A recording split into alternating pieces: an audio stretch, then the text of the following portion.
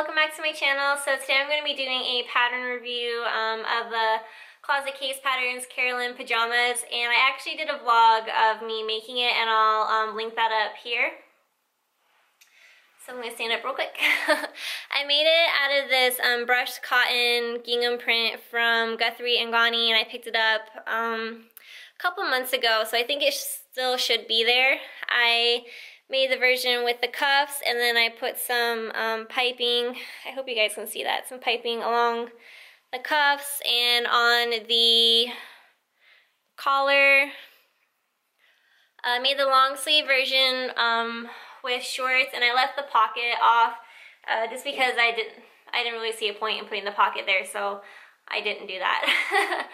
so um, this is definitely one of the most advanced patterns that I've made and I'm very proud of myself that I did it. Um, it took me three days, but I felt so accomplished afterwards. Um, it took me about like a day and a half um, to make the top. So uh, the first day I made the top and then um, all I had to do was I think put buttons on and like, you know, hem it and all that stuff. So I got like the majority of the work done on day one and that took me about eight hours.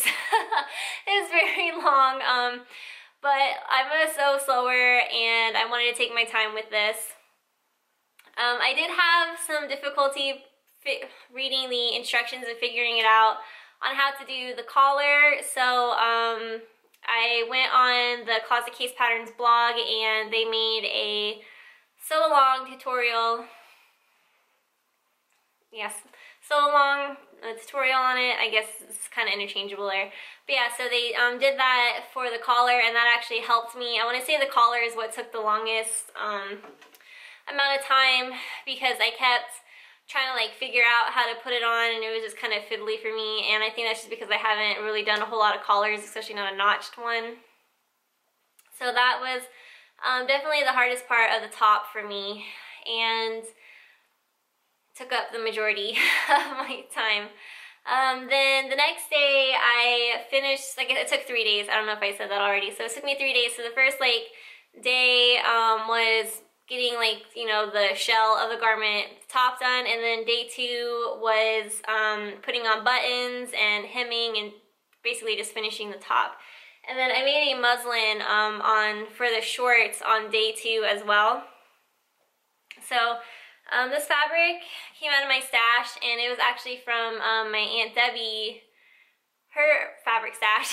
she uh, mailed um, all her fabric stash and stuff to me um, a couple months ago. And so this was a flannel that was in there, so I used this because it has kind of like the, it's pretty much the same material. Um, so I made the muslin and this took half a day and so changes that I ended up making on the shorts where I did not like how the cuffs were a little bit tighter around my thighs than I liked. So what I did was um, instead of using the standard seam allowance, which I can't remember what it was off the top of my head because it's been a while, I want to say maybe 3 eighths or 5 eighths of an inch.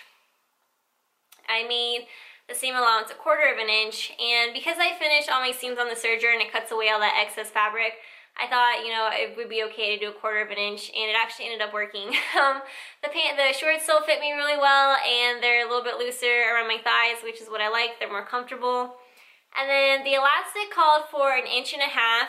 Um, I ended up changing that because what had happened was when I sewed um, the casing and then pulled the elastic through. You see right here how it kind of curled under um, and created this weird effect right here. I don't know what you would call that.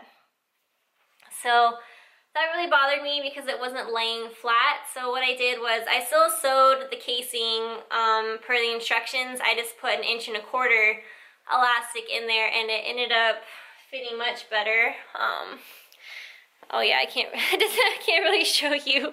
So, but yeah, it, um, it ended up laying flat. It didn't have any of that bunching effect.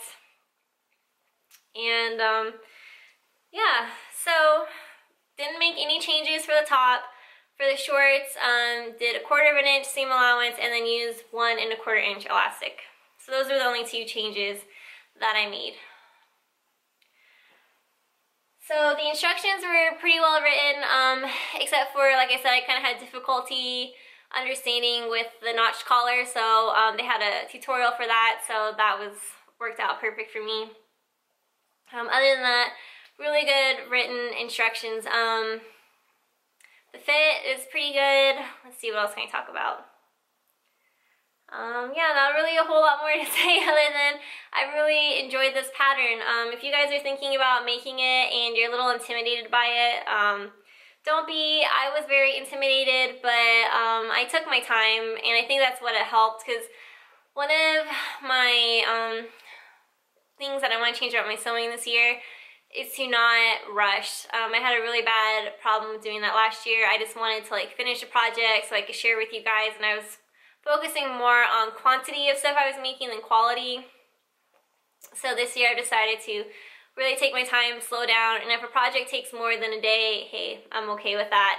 And I think I proved to myself that that's definitely the way to go because I don't think I would have been as successful making these um, as if I just rushed through it. So, really great pattern, really great garment, and I'm uh, very proud of myself. And um, I think you guys should give this a try if you're thinking about it. So, um, like I said, I did, I think I said this in the beginning, I, I did a vlog, so um, I'll link that um, in the video as well in the description box below if you guys want to um, see my journey making these. And if you want to see more pattern reviews or um, if you like these kind of videos, please give this video a thumbs up.